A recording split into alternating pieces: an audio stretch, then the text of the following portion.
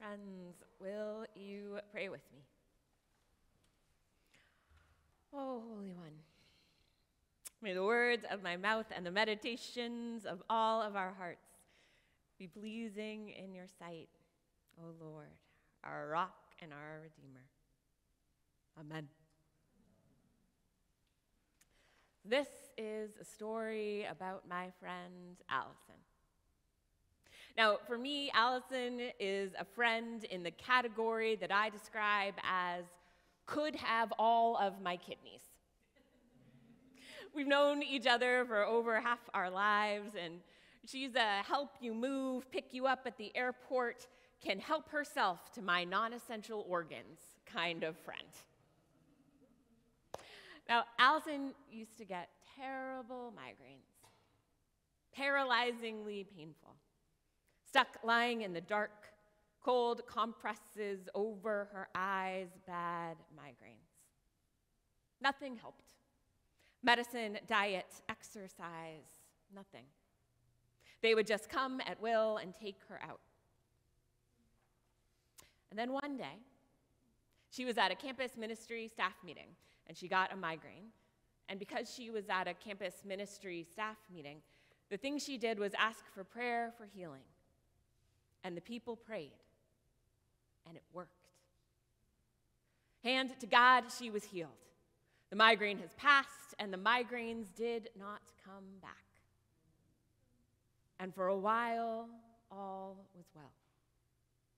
And she and we told a story of a good and faithful God who showed up in prayer and community and was the powerful rescuer that we know God to be from the stories we read in the Bible, from the life of my friend. And for a while, all was well until her migraines came back. And that was devastating. Devastating physically because once again she was waylaid by terrible pain. And devastating emotionally and theologically because how do you tell a story about a miracle that doesn't stick? What do you believe about a God who heals in faithful community and then stops doing it? What do you do when healing isn't the end of suffering? What we did was silent prayer. We tried to see if we could hear that still small voice of God, if we could get some clarity on where God was at work and how we should be faithfully responding.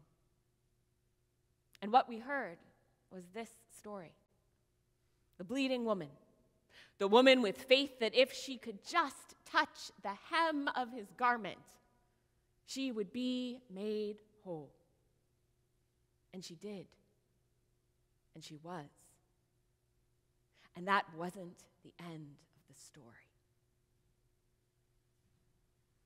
One of the things that scholars like to talk about when they talk about this story is how the woman would have been unclean all the time.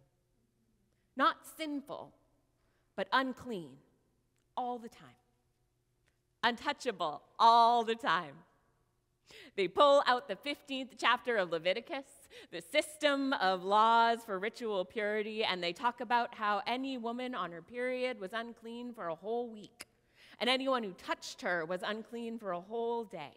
And the uncleanliness extended not just to her or anyone she touched, but even to her bed and things she sat on.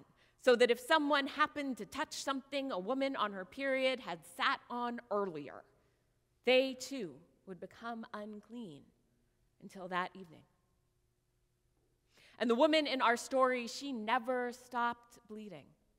And so she would have been unclean all the time, unable to hold hands or give a hug or go over to a friend's house for dinner. She shouldn't have even been in that crowd because of how likely it was that she'd brush up against someone and make them unclean too. Imagine the isolation, the suffering, both the discomfort of the experience itself and the experience of being fundamentally uncomfortable. No one could comfort you without joining in your uncleanliness. isolation at every turn. For 12 years, stuck in a system that says you are not to be touched.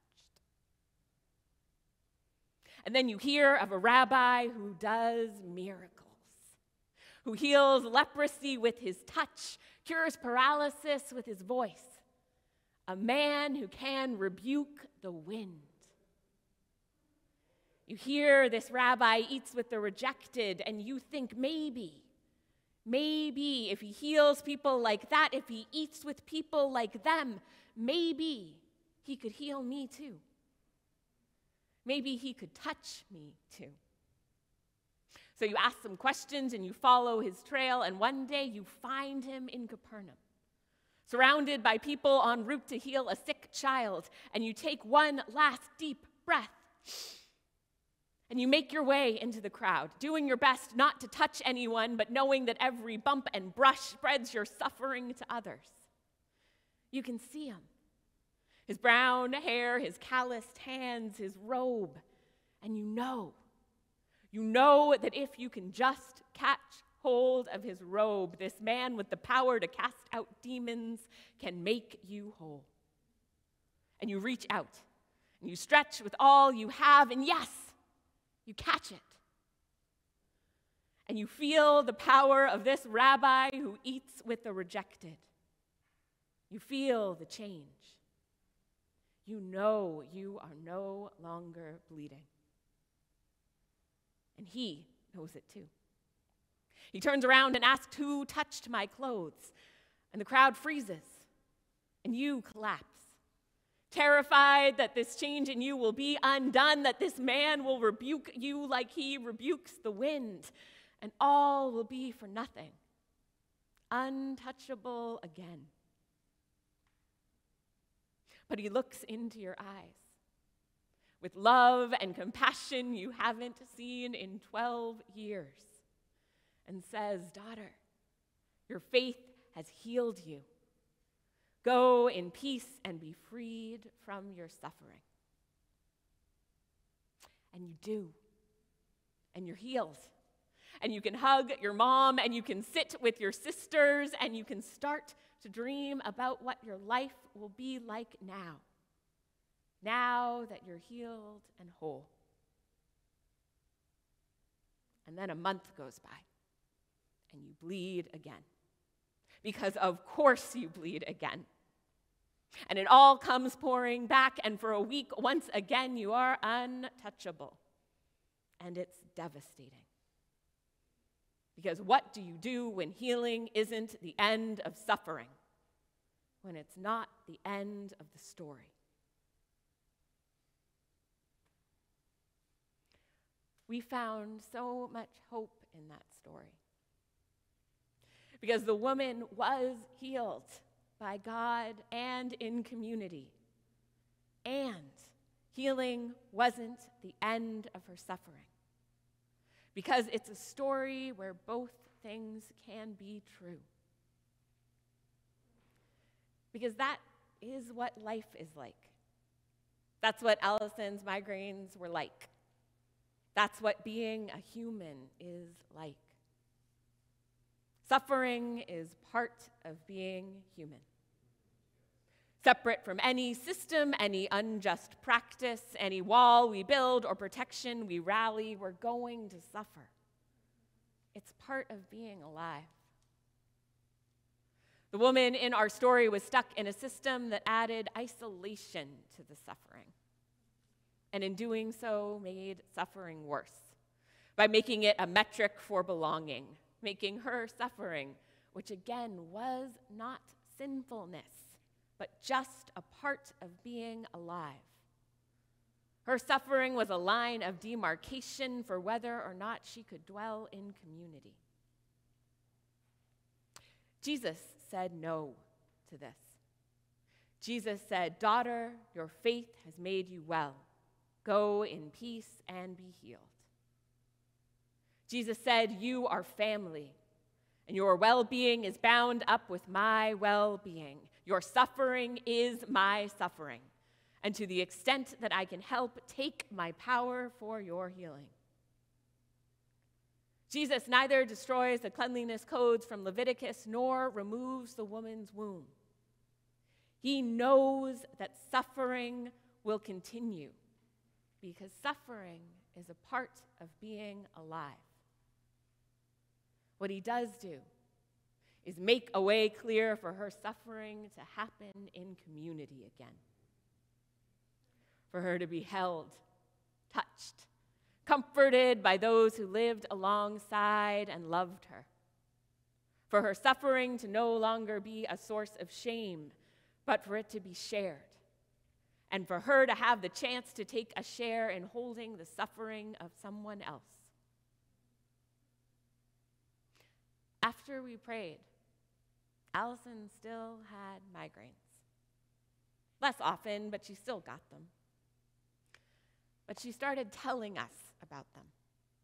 And we started asking about them. And when we could, we moved days around so she could rest when she needed to. And we tried to be people who brought her cold compresses.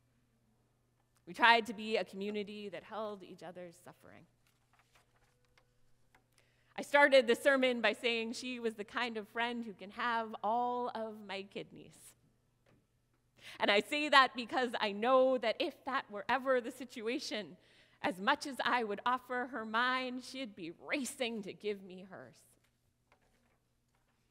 Because healing isn't the end of suffering, but it can be a way into community, a way into lives where suffering is shared, where God shows up, and where it turns out to be a story worth telling after.